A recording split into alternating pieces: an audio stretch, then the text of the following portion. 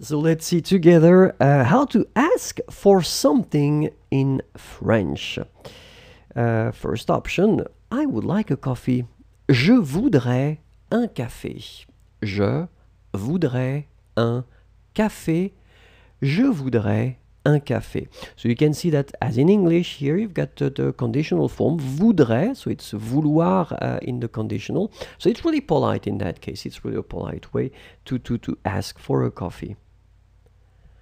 Second option, I would like to have a coffee. J'aimerais avoir un café. J'aimerais avoir un café. J'aimerais avoir un café. In that situation, it's quite interesting because if you look at it, so you have the verb aimer, aimer it's to like or to love.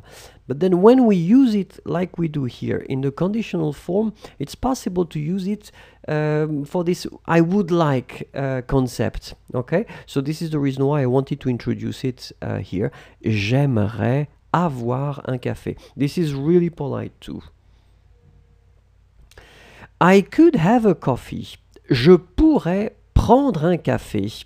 Je pourrais prendre un café.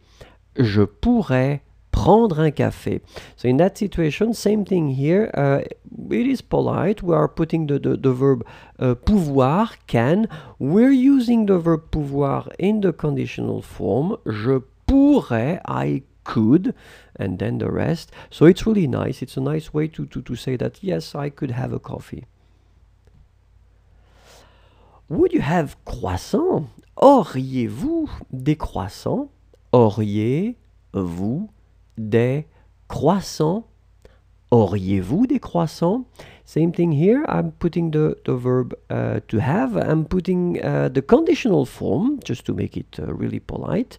Uh, so it's a polite way to ask if the person uh, has some croissant for you because you would like to enjoy them.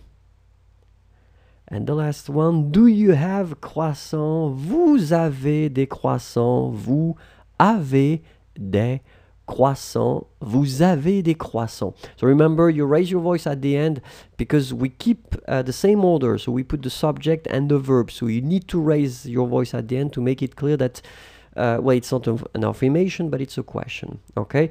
In that case, obviously, because you can see that even if I'm using the vous, I'm still using the present. So I mean, in the category that we saw, it's uh, it's the least uh, formal and polite way. It's still extremely okay. I mean, it's re- it's really it's really correct to, to to say that. Never go for the tu if you don't know the person. I mean, this is the only thing that you really really need to remember. So keep the vous. I mean, like here, vous avez des croissants.